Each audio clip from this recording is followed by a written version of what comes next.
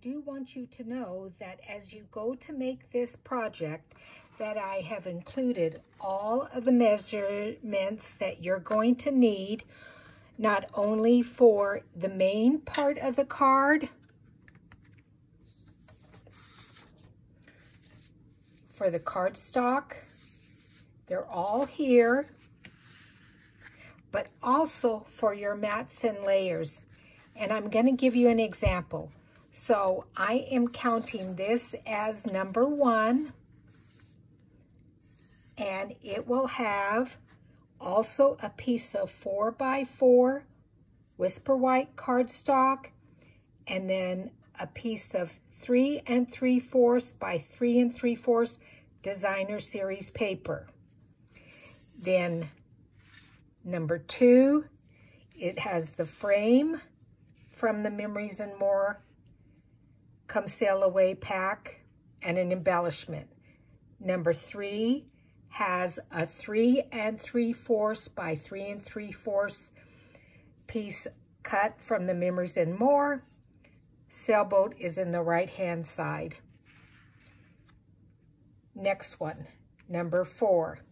And I do write here in the description what it is because as you're opening it up, you would think, well, how can that be number four? It doesn't look like number four but it's the next biggest one. So I do write down here, so you'll know it's the pattern paper with the ropes. It is three and three fourths by three and three fourths. Then this one here, it is three and one half by two inches of a pattern paper, and then two and three fourths by one and a fourth Whisper White with the sentiment stamped on it, both corner rounded, so you can see that. And so on and so forth. Just real quick, next one, three and a half by three inch, Happy Father's Day, cut from the Memories and More card pack. So again, every single measurement that you will need to make this card will be in the description box. I hope that helps. This is a Father's Day card that I made for my son-in-law. And I also made the box. It closes with a Velcro strip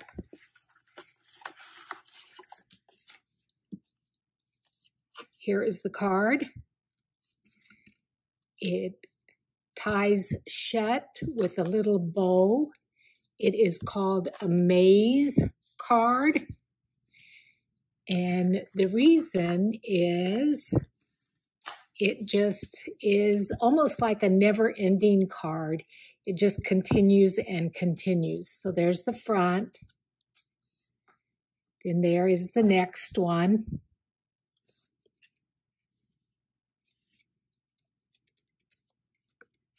it just keeps folding up and over. Oops.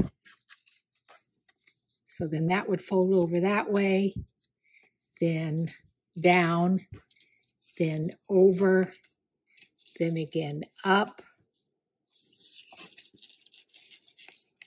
over, down, and finally ending over on that side. So it's a fun card to make. All of the dimensions are in the description box. And it actually is a very easy card to make because basically all you're doing is gluing different size squares on top of each other.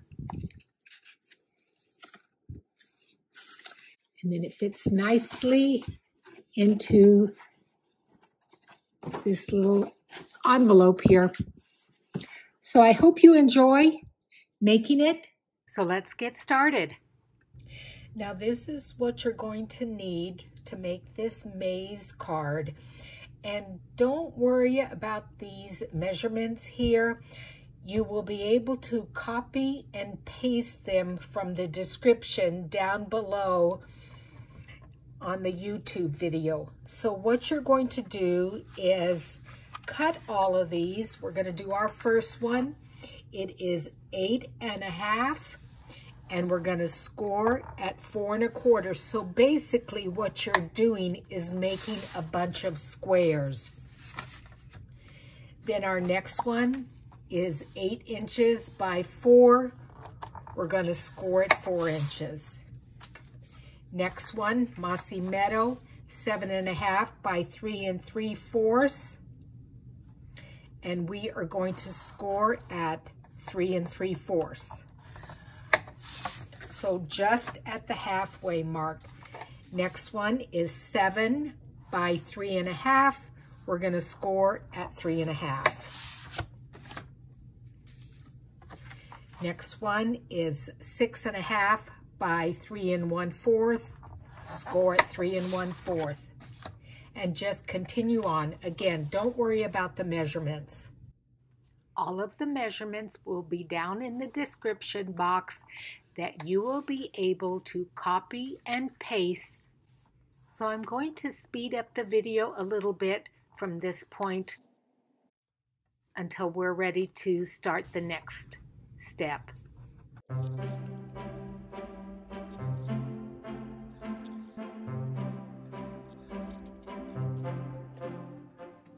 And so now you're just going to fold and burnish all of your score lines.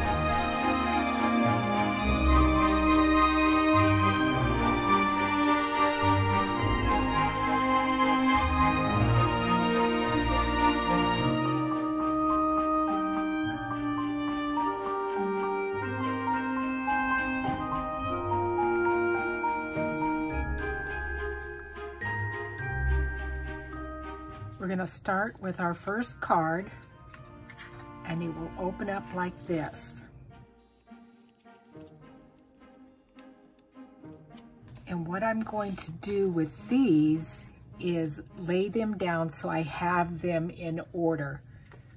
I want to put them right here. And I think I'm going to put my little thing on top of it so they don't go flipping off.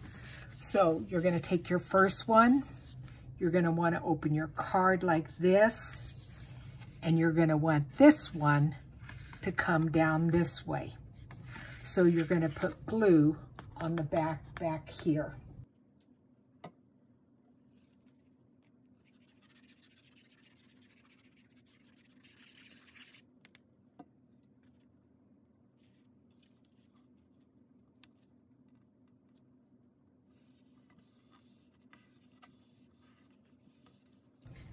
So then you have a nice border all the way around. Then you're going to open it up. Take your next one.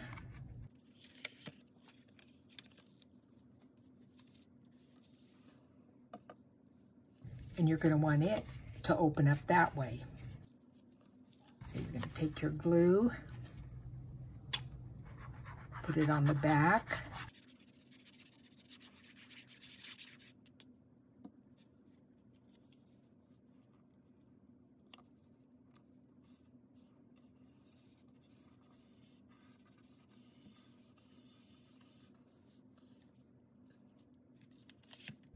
And now when you open it up, you want this one to open up back that way. So again, take your glue. With each layer, you are going to go from the largest to the next size, to the next size down, and the next size down. each one will have an alternating color. Make sure you double check the orientation of your card prior to gluing it down. And as you can see, I double check it a couple of times. If you get confused, just pause the video, rewind it, and watch it again. You can always decrease the amount of layers you use. I'm using 11. You could use 5 or 6, whatever you want. So from this point on, I'm going to fast forward the video.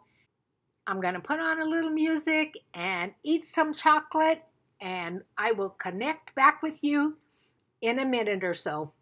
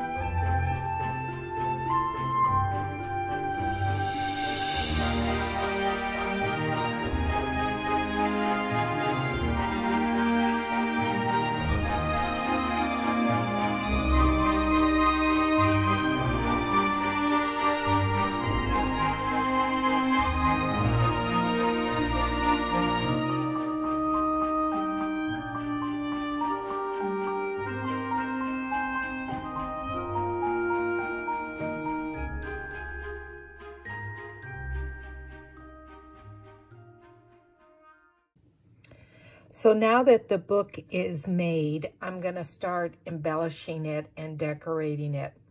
But I'm not going to bore you with all of that because it will take some time. But I do want to just show you that each page I'm adding something. And for a lot of these things, I am using the Memories and More card pack that comes sail away which if I hold it up close, you can see there's a lot of cardstock, paper, stickers, embellishments. And let me just show you real quick. Now, I have cut into this and already used a lot of this, so I don't have a lot left. But these are all self-adhesive. They already have the sticker on them. And just real quick, this right here is what I used for this border right here. So all you have to do is peel it up. It already has adhesive on the back and you lay it down and then just cut it off. So I'm going to continue decorating this and I may stop here and there, film a little bit, but I will show you the end product in a little bit. Okay, once again, I'm just going to show you real quick. These were stickers here, stickers. I cut this out of the Memories and More. And just to show you just how quick you can decorate something is, that's a sticker, pull it off,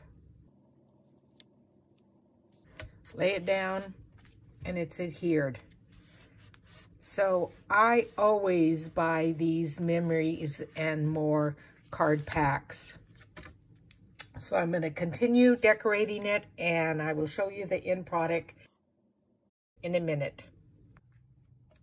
So my card is completely decorated and it is quite bulky, which is fine because I'm going to show you how to make a box for it.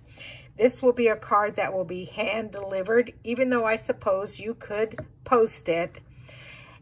But because it is very bulky, I thought I might add some of our baker's twine from the collection and one of these little charms. And I wish I had thought about it before because what I would have done is laid this down underneath these layers but I've come up with a solution.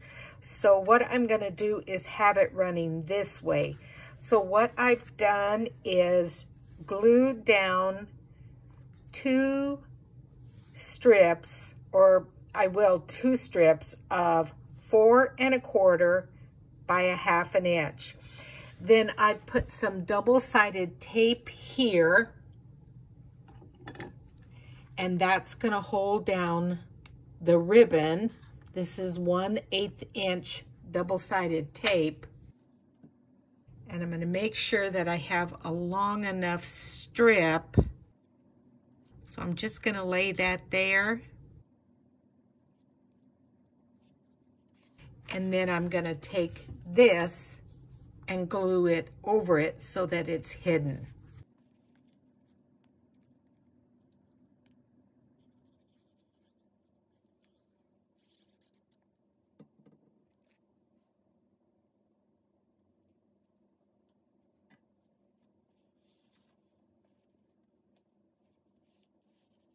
It's hanging over a little bit here, but that's okay because I can trim that off. It's not much. As I open it up, I can just trim a little bit there and a little bit on the other side. Hopefully without cutting that string. Ah, wouldn't that be horrible? And it looks like I need to cut a little bit here on this edge too. So what I'm doing is just taking a little bit of my art glitter glue with a fine tip point and just squeezing that underneath there along the whole edge. And then I'll be able to hold that down. And because it dries clear, if some of it oozes out, it'll be okay.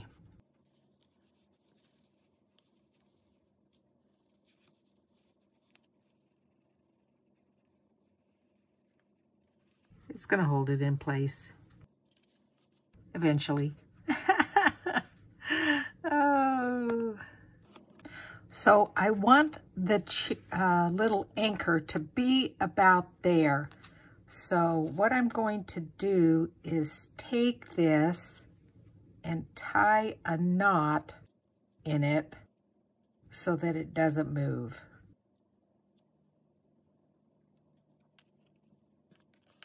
Just bring this up or,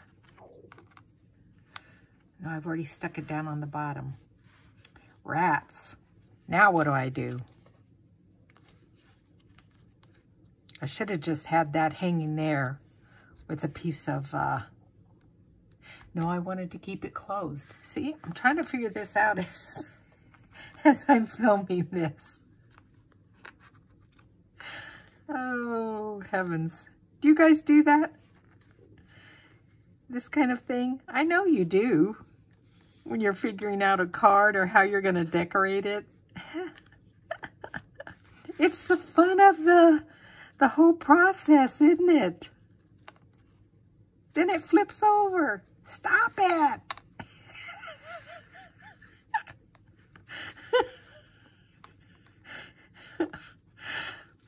okay, I have to turn off the, the camera until I sort this out. okay, I figured it out. What helps is having the bow tied lower as opposed to up here because then that covered the anchor. So I think it looks quite nice. And you see how I have a little bit of glue here? What you want to do is take one of these glue erasers and after the glue dries, you just run it across there and it removes it. So now I'm going to get started on making the box and I will include that in this tutorial so you have a nice box to present your card in. Yeah, looks nice. And then I'll show you the whole project. This is my one, two, three punch board from We Are Memory Keepers.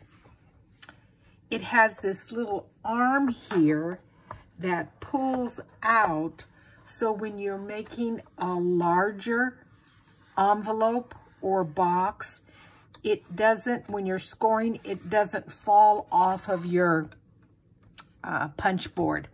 So I have decided to use this paper here and either side would be great. And it is, how big was this? It is 8 and 5 eighths by 8 and 5 eighths.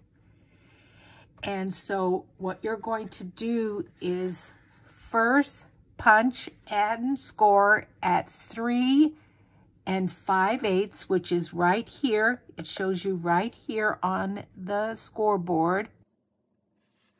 So you punch and you score. It might be a little difficult to see it here. And then so that it will be a box, then you also want to punch and score at 5 and 1 16th. And 5 and 1 8th would probably be okay too, but I just put it just a little bit past the 5 and just before the 1 8th. So punch and score again. Then I turn my paper all the way around to the other side and do the same thing. So three and five eighths. And then five and one sixteenth. You're gonna punch and score two different areas. Then for the other sides, what you need to do is you take each of these little corners that are rounded and you lay them in the groove here of your punch board. So do you see how I have laid that right in there? And that's where you're going to punch and score. And then you're going to do the same thing with this one. So I'm going to bring it up. And I want to make sure that you guys can see. So I'm going to bring that forward a little bit. And so do you see how I've lined that one up right there? So I'm going to punch and score again. Then I'm going to turn it around and do the other side. So again, line up. And it doesn't matter if you do this one first or this one first. You're just going to end up doing both of them.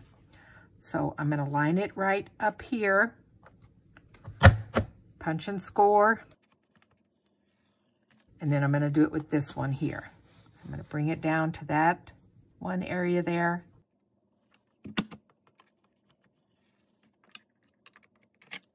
And then what we're going to do is round these corners off here. So you just lay it in your score or your punch board. Did that round good? Let me try it again. Yeah.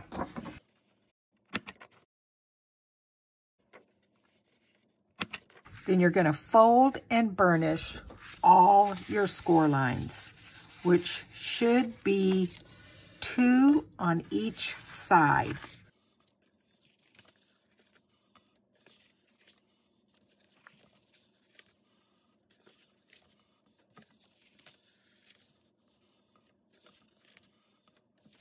Then I turn it over and I look to see, so I want this to be the front of the box. So then this part is gonna be the bottom. So I turn it over and what you're going to do is cut up both of these lines right here. So bring it up and cut along that score line up to the first score line on both sides. So then when you fold it up, this is going to come inward. Look, some glue there. Stuck to me. This is going to come in and form your box. Now, I'm going to hold it in place just to make sure it fits first before I completely glue it in. Yay, it does. Okay, perfect. So you have created these two tabs here, and then these tabs here, I'm going to first just cut up the score line, but I actually may remove the whole thing. We'll see. It depends on how sturdy the box is. So again, same thing there. But again, you want to make sure that you glue your box so that the orientation is correct. This is better. This is a better orientation. Okay, so lay it down and you're going to bring these flaps up and in. And I'm going to use my good old Beacon's 3-in-1 glue. So apply some glue here on the outside edge. And you're going to bring it in and do a right hand corner or angle and hold it there. Look at that string. and just hold it there for just a minute while that adheres. And you could, if you wanted to, just go in because this is a little bit thicker box. I'm able to go in there and push down on that. And then you're going to do the same thing on the other side. So some glue here. You could do double-sided tape or a tape runner, although I'm not sure a tape runner would uh, hold very well. Whoops. Bring it in and bring in this other side too so it's on the inside. And then just hold it there while that adheres. So you can either take your fingers and go inside the box and push down or your bone folder and hold those two tabs that you've glued to the bottom of the box together. Just giving it a few seconds to catch. And now we're going to glue the sides of the box to the bottom of the box. So again, I take my Beacon's 3-in-1 glue and I add maybe a quarter inch or a half inch in width along the two sides and a little bit underneath the tab right there.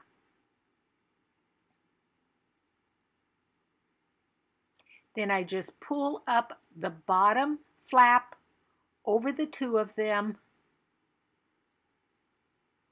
and hold it in place for just a few seconds while it catches.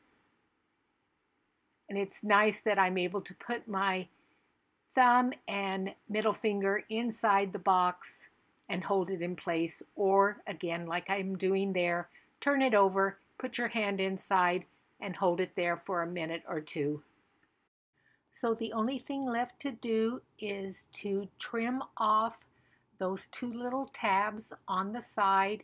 That helps the box close a little bit better. And I do end up using a Velcro dot to adhere it closed so that I'm able to give it to my son-in-law without him having to tear the box open. I appreciate each and every one of you. If there's anything I can do to help you with your crafting projects, please let me know. If you would like any of these supplies, please visit my 24-7 online store at juanettehewitt.stampinup.net. And have a good evening. Please post any pictures that you might have of this project. I would love to see them. Good night.